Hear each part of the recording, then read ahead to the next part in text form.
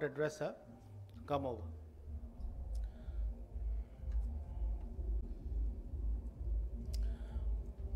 So our uh, instruction course uh, will be, we'll be talking about the risk factors and interpretation of the risk factors, the biomechanical analysis, the imaging, which is very, very important pre-op uh, tool to assess uh, the suitability of the eye for the laser, and uh, then variables and modification according to the uh, investigations which we have performed.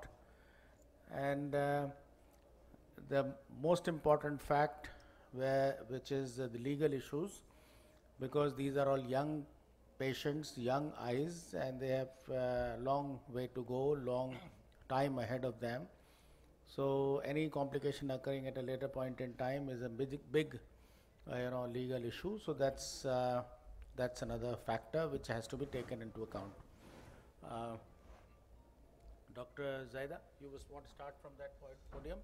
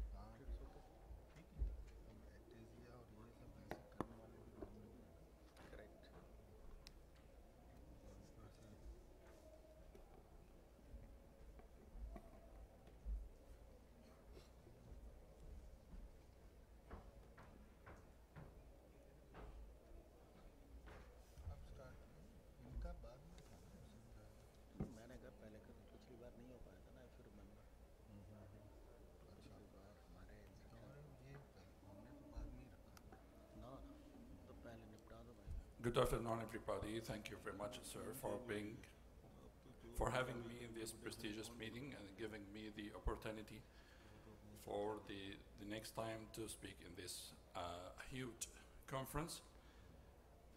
And my talk will be about the when ectasia is not ectasia actually, because we have a lot of cases uh, at which or on examination or checking the pentacams, we, you may find that the pentacam diagnosing this case as a, an, a case of coronus or DGA, but actually it's not. So I will start my talk by this note. Uh, don't forget that you are an ophthalmologist. You have to correlate even the clinical data with the, uh, the paper data you have from your pentacam don't diagnose your patients by papers only, because you are not an, an interpreter Wait, wait, by the wait. papers, but, your, but you are ophthalmologist. The first case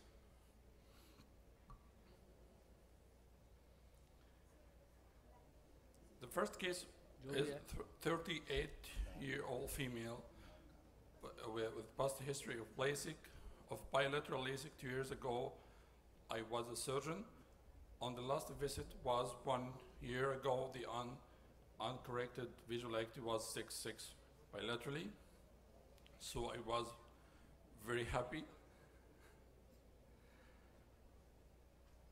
On this time, on the, uh, the uh, July 2019, she came to me again with panic and depression, with rapid drop of the visual acuity.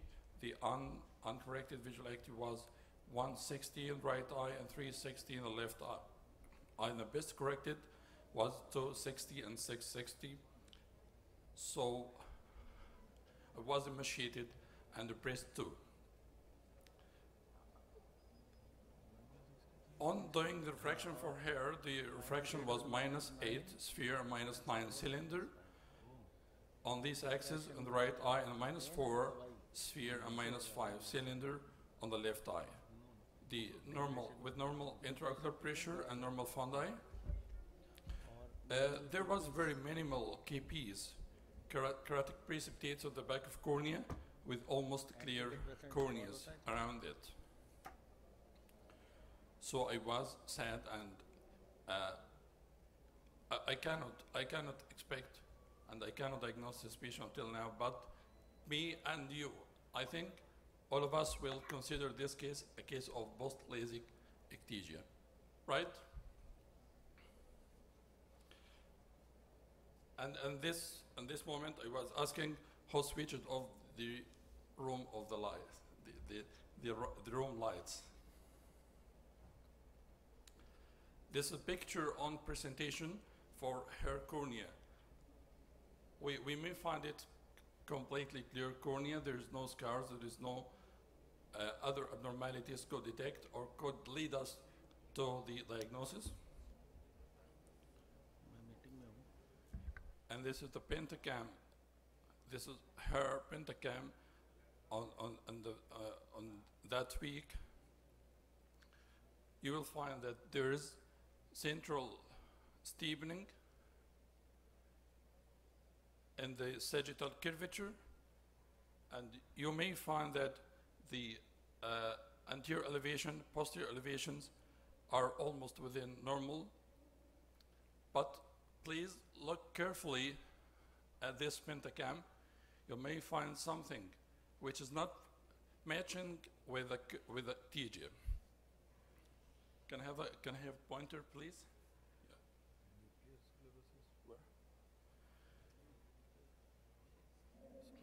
Thank you. When you look, when you look here, you will find this central steepening with inferior, more, more steepening inferiorly.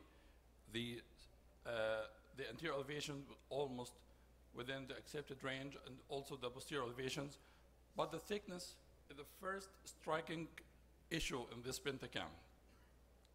The central corneal thickness was more than normal, even, even in the non-ablated cornea. The central thickness was reaching 700, and the thinnest location was 5, 5, 8, 9 micrometer, and it shifted up. It's, it was away, it is away from the steepening or the protruded part of the cornea. So my mind was shifted in this moment to think about something other, away from the cor- away from the ectasia, which is actually related to the KPs which, which I have found on the examination of the cornea. If we, if we could back again to the cornea, this minimal piece, which is not uh, appearing enough or, or, or uh, which is not huge, which is not a lot, which is not immersing the back of the cornea to be important one. So I ignored them during examination of the patient clinically in my clinic, but when I saw the pentacam, when I saw the central thickness in this, in this patient, and this uh, increased thickness out of the accepted range, I found this case as a corneal edema. It's a corneal edema, not corneal ectasia. This is the second eye. I will skip for the time.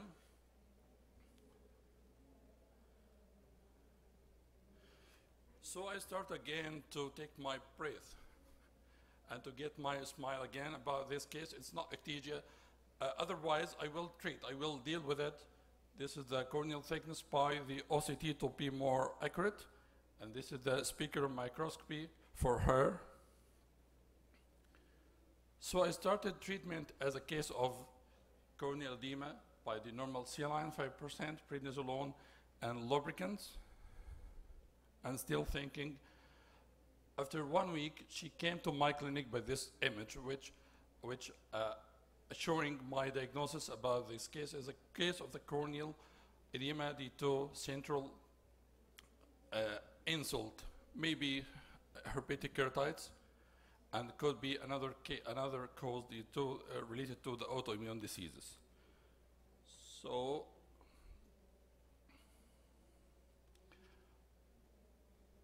I started to deal with the same, changing the mild viral or autoimmune, by the oral cyclovir 400 mi- milligram uh, every eight hours, topical cyclovir five times daily, fluorometholone with uh, the least dose and immunomodulator, and after 10 days, no response.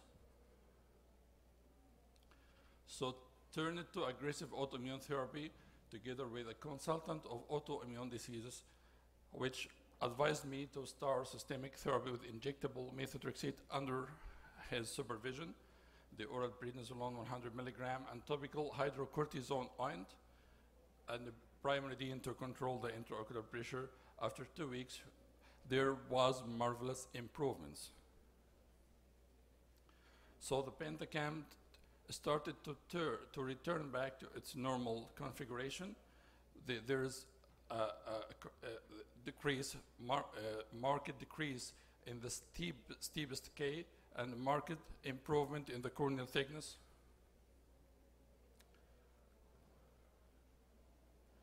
If you compare between both points, the thinnest location is 500 uh, is 500 microns, and in the, in the recent one, the old one, was 580.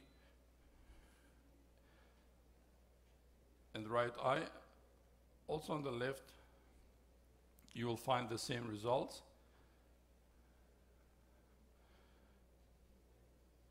And after three weeks more, more improvements in the pentacam, and she turned back to the clear corneal, the corneal center again, with unaided visual acuity with of 612 and 69. Almost clear cornea, restored her vision and mood wellness. Actually, the patient and her doctor. I have another case if I have a time, but actually the time is, is out. Can I have just one mi- minute One more? minute, yeah. One minute, okay, Yeah. the case two. This patient, 26 year female patient, came to my clinic with previous diagnosis of. It's actually, when you look th- to, at this pentacam, you may think about something else. Can you share me about that? This is, this is a picture of keratoconus. There is steepening, superior and inferior, and almost the same superior and inferior steepening. And the briefer parts are well. The corneal thickness map is not bad. The anterior elevation, the posterior elevations are also within the accepted range. And this is the other eye, almost the same. And this patient, uh, other doctor planned her planned for keratoplasty or even the intracorneal rings and cross-linking for hair to deal with her as a keratoconus. But this is the picture of the patient, so correlate the clinical data uh, uh, always with the paper data. When you look at this uh, this images for her eye, you will find that there is peripheral degeneration with some central tongues, which is not apparent well in these images. And this is not a case of keratoconus, this is a case of degeneration like that after the hyperopic ablation. Peripheral thinning leading to counteracting central steepening, which is not keratoconus but steep cornea. The other eye. So the refraction of her was minus 8 cylinder in the right and minus 6 in the left. Please, wi- please wind up your Yeah? presentation. Please wind up your presentation. Yes, okay. Yeah. Okay, right. Best corrected with this refraction s- 624. The and all, all the other things were, were, normal. So what the diagnosis is it keratoconus? I, I, I, I, I, I am not with this, this diagnosis. What about you? Then what to do? This is the image with iBot. Thinning leads to uh, LE, the central thinning, uh, sorry, the peripheral thinning leads to protrusion of the center. So like this body, the head is bigger in relation to this. Uh, the head in relation to this body is bigger.